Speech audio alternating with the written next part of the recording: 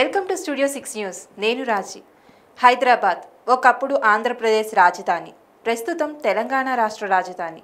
అయితే పూర్వపు రోజుల్లో నిజాములు మొఘలులు పరిపాలించిన ప్రాంతం.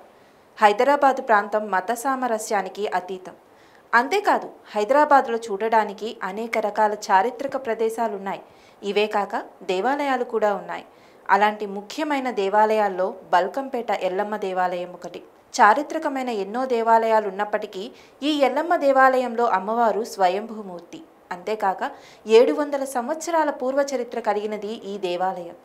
భక్తుల కోరికలు తీర్చే దేవేరిగా ప్రజల కొంగు బంగారంగా నిలుస్తుంది ఈ అమ్మవారు. బల్కంపేట ఎల్లమ్మ దేవాలయం అంటే ఇక్కడ జరిగే జాతరకు ముల్లోకాల నుండి దేవతలు దిగివస్తారని ప్రతీతి.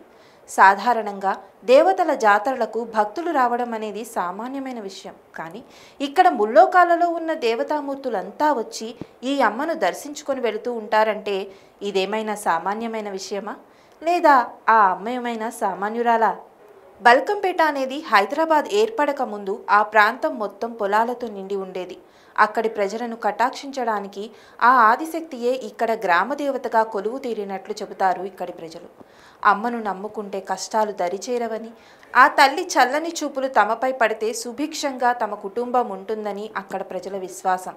కానీ కేవలం అక్కడి ప్రాంతానికే కాక చుట్టుపక్కల నుండి వచ్చే జనాలతో చూసుకుంటే మొత్తం ఐదు లక్షల మంది ప్రజలు అక్కడి అమ్మను దర్శించుకోవడానికి వస్తారు అంటే అతిశయోక్తి కాదు. అసలు ఈ అమ్మ చరిత్ర గురించి ఈ అమ్మ ఎవరో తెలుసుకోవాలనిటే మన దేవాలయాలు కార్యక్రమాన్ని వీక్షిద్దామా మరి? ఈ అమ్మ పేరు రేణుకా ఎల్లమ్మ. ఈమె ఉన్న ప్రాంతం పేరుతో బల్కంపేట చుట్టూ పొలాలతో ఒక చిన్న గ్రామం ఉండేది. అప్పట్లో ఈ ప్రాంతాన్ని రాజా శివరాజ్ బహదూర్ అనే సంస్థానాధీశుని హయాంలో బెహ్లూ ఖాన్ గూడాగా పిలిచేవారు. తదుపరి కాలాంతరంగా ఈ ప్రాంతాన్ని బల్కంపేటగా పిలవడం జరిగింది. అసలు ఈ అమ్మ ఎక్కడి నుంచి వచ్చారో తెలుసుకుందామా? దాదాపు ఏడు వందల సంవత్సరాల క్రితం ఒక రైతు పొలంలో బావిని ఏర్పాటు చేయడం కోసం త్రవ్వకాలు ప్రారంభించాడట. కొంత లోతు తవ్వగానే అక్కడ ఒక రాయి కనిపించిందట. దానిని తొలగించడానికి ఎంత ప్రయత్నం చేసినా కూడా ఆ రాయి అక్కడి నుంచి తొలగించలేకపోయాడట ఆ రైతు. చివరికి నానా కష్టాలు పడి ఆ రాయి చుట్టూ ఉన్న మట్టిని త్రవ్వగా అప్పుడు అమ్మవారు రేణుకా ఎల్లమ్మ తల్లి విగ్రహం బయటపడిందట. దానిని తీయడానికి రైతు విశ్వ ప్రయత్నం చేసినా ఆ విగ్రహాన్ని కొంచెం కూడా కదపలేకపోయాడట. ఇలా కాదని గ్రామంలోని ఇంకొంతమందిని తీసుకొచ్చినా కూడా ఆ విగ్రహం అక్కడి నుండి కదలలేదట. అప్పుడు ఆ గ్రామ పెద్ద అమ్మవారు ఇక్కడే ఉండాలని సంకల్పించుకున్నారేమో. దైవ నిర్ణయాన్ని మనమేం చేయలేం. కాబట్టి అమ్మను ఇక్కడే ఉంచి పూజలు నిర్వహిద్దామన్నారట. అప్పటి నుంచి అమ్మవారిని ఆ బావిలో ఉంచే పూజాది కార్యక్రమంలో నిర్వహించేవారట ఆ గ్రామ ప్రజలు. అమ్మ మహత్యం ఆ నోట ఈ నోట నలుదిశలు వ్యాపించింది. దానితో అమ్మకు ఒక చిన్న గుడిని ఏర్పాటు చేశారు. తర్వాత కాలంలో అమ్మ బల్కంపేట రేణుకా ఎల్లమ్మగా పేరుగాంచింది. పంతొమ్మిది వందల పంతొమ్మిది తర్వాత అమ్మవారికి ఒక ఆలయాన్ని నిర్మింపచేశారు అక్కడి ప్రజలు. ఈ అమ్మవారి గుడి నిర్మాణంలో దక్షిణ భారతదేశ నిర్మాణ శైలి సంస్కృతి కనిపిస్తాయి. ఇక్కడ అమ్మవారి ప్రత్యేకత ఏమిటంటే అమ్మవారు స్వయంభూమూర్తి అని చెప్పడానికి ఇప్పుడు నేను చెప్పేది ఒక నిదర్శనం. అమ్మవారి విగ్రహం వెనుక భాగం నుండి అంటే తల వెనుక భాగం నుండి ఎల్లప్పుడూ నీరు ఊరుతూ ఉంటుంది. దానిని భక్తులు మహాప్రసాదంగా స్వీకరిస్తారు.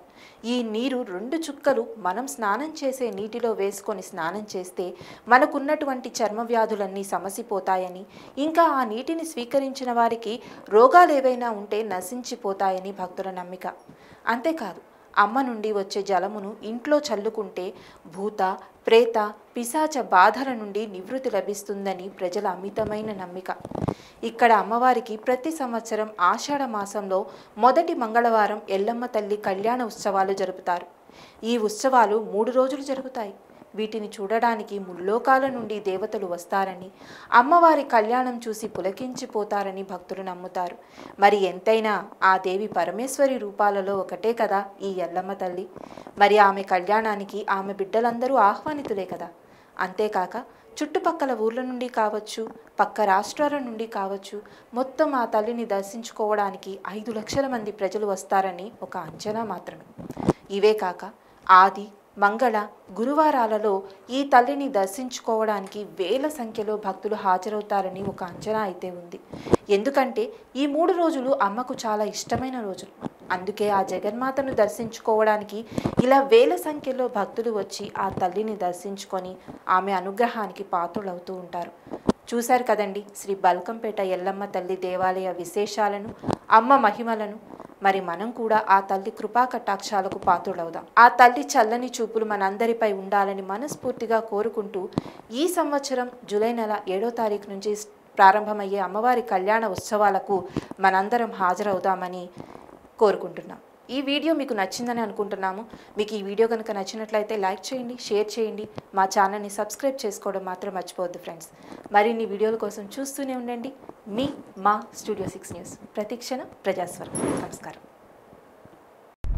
News latest updates current affairs entertainment viral videos విషయం ఏదైనా సరే తెలుసుకోవాలనుకుంటున్నారా? అయితే please subscribe Studio Six News అలాగే నోటిఫికేషన్ కోసం పక్కనే ఉన్న బెల్ నొక్కడం మర్చిపోతే